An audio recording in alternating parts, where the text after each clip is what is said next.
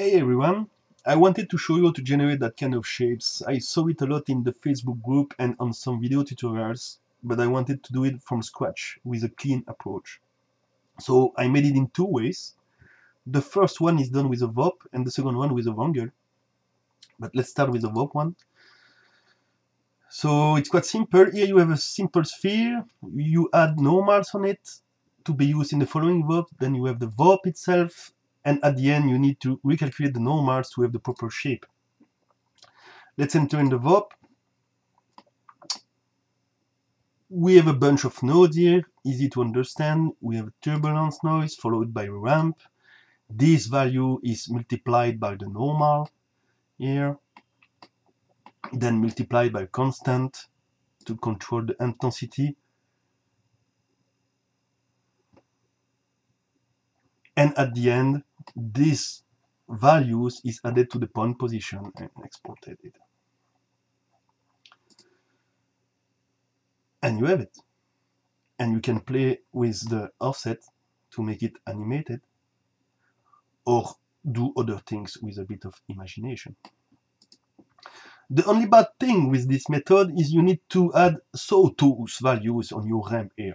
It's a bit annoying and boring to control. That's why I wanted to make it with pure VEX expression. So let's take a look to the Wrangle method. It's quite the same. You start with a sphere with normal on it, followed by the Wrangle itself containing some code I'll explain in two seconds. And like the other method, you need to regenerate the normal at the end. The Wrangle code is quite simple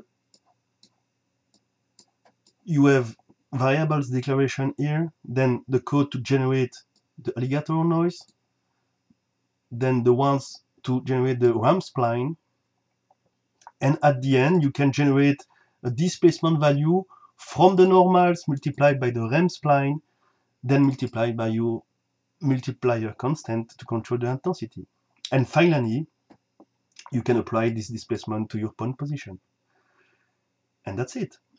Again, you can play with the offset value to make it animated. Like that. So it's up to you, but you have it. So I hope you enjoyed that small tutorials and I'm curious to see things you'll build with that. There is a link to the Wrangle code in the description. Thanks for watching and see you next time.